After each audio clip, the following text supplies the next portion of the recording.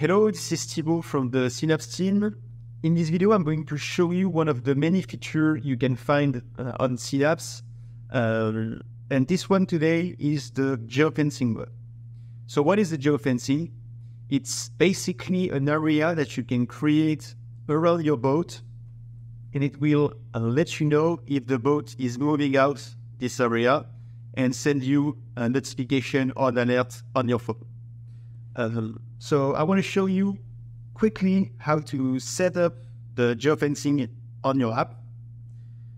So when you're when you arrive on your app and you see your boat uh, right there, uh, you can set the geofencing button. So I'm going to click on geofence. Right now I can see that uh, it is off. So if the boat is moving, I will not get alerted. I won't know about it, or uh, only if I go on the app. But when I click on anchor, you can see the blue ring around the boat, and this is what is my geofencing area. So I'm gonna make it a little bit smaller, just like that.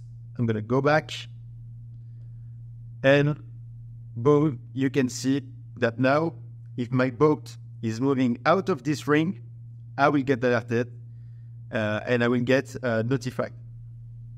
Thank you, and I hope this will help you to make the most out of Seanapps.